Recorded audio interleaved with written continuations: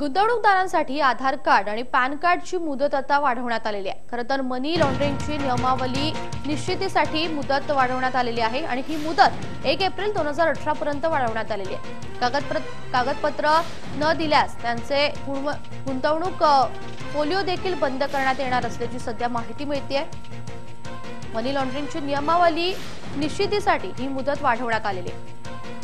गुंतवणूकदारांसाठी आधार कार्ड आणि पॅन कार्डची मुदत आता वाढवण्यात आली आहे. अधिक अपडेट जाणून घ्या. आमच्या प्रतिनिधी आहेत भक्ती पाटील.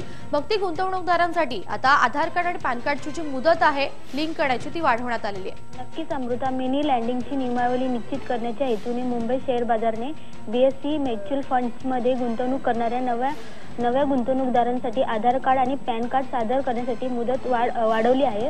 आता ही मुदत एक एप्रिल दोन हजार अठरा पर्यंत वाढवण्यात आली आहे. नवीन गुंतवणूकदारांनी ही दोन्ही कागदपत्रे न दिल्या दिल्यास त्यांचे गुंतवणूक फॉलोईंग बंद करण्यात येणार आहे. अमृता. धन्यवाद भक्ती दिलेल्या माहितीबद्दल.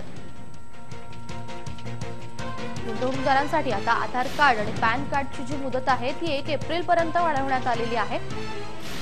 आणि मनी लॉन्ड्रिंगची नियमावली निश्चित करण्यासाठी ही मुदत वाढवणार असल्याची माहिती सध्या हाती येते.